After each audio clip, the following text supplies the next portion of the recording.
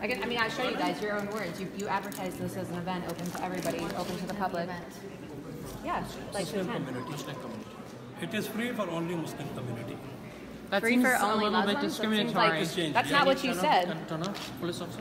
Why is taking? Why is Because we're taking video. Because No, you're no. discriminating See, against us. Why can't? I- you why are you banning? Why are you banning Jewish people from your photo. event? Why are you banning Jews from the event? You advertise the event. It says right here, Carry the Light Annual Convention, Sunday, October seventh, and it says that it's open to the public. You said it's free. So You didn't say that why is Christians it and now Jews all of a aren't welcome. So Christians and Jews aren't welcome to your event? Muslims only?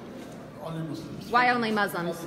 Already Do you mind if we talk about this outside? No, we can't No. talk about this outside because you know what? They advertise And this event do not as a take free. my picture. I am not authorizing you. It's against You the law. It's it's, It's against public, the law it's to, public. to discriminate this as a against religious grounds, sir. That's against the law, sir. Right, and what I you're have a doing right is to call.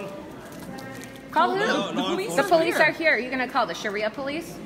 Yes. Who are you gonna call? You advertise this event as being open to the public, totally free for everyone. See that? Do you see what that says right there, officer? See? So why now are they saying that it's only see the carry the light convention is totally free for everyone? I'll go to their Facebook page and you can see. This is discrimination what they're doing right now. No discrimination. It is discrimination. It is discrimination. When You're say banning Jews Muslims only, Christians. you're banning Christians and Jews from here. That's discrimination, That's friends. discrimination, and I would like to attend the event. I would like to see what you're doing. You advertise this as an event that's open to the public, so I'm going into the event.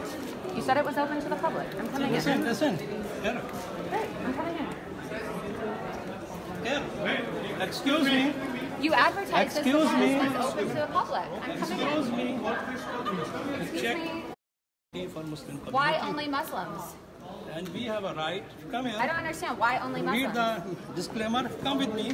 No, come I don't want me. to come with you. No, you cannot go from here. Why is your event? And Why is your please, event only please, open to Muslims? I am saying Right. So you're you're denying an event. You guys want right. you guys want everybody in Western countries, Western civilization, to welcome you so that you can come and invade our countries. But then you're banning us from your Anita, events in Toronto and places like where the United? States. Seriously. So, so this is this is Toronto. This is a Western civilization. Anita, You're now banning? Jews and Christians from coming into your event.